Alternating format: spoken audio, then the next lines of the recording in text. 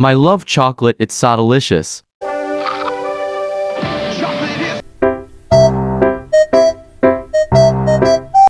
One eternity later.